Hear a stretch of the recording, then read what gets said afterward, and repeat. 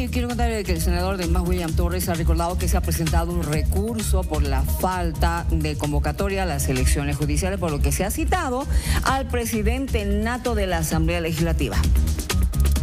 La semana pasada eh, planteamos una acción eh, de cumplimiento en contra del vicepresidente del Estado que funge como presidente nato también de la Asamblea eh, Plurinacional.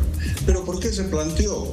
Se planteó esta, esta acción constitucional porque el vicepresidente del Estado en su calidad de presidente nato de la Asamblea incumplió sus deberes de convocar al Pleno de la Asamblea.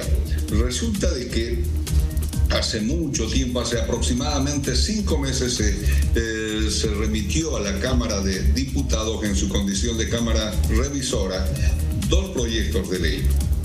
El primero, el 073, y el segundo, el 075.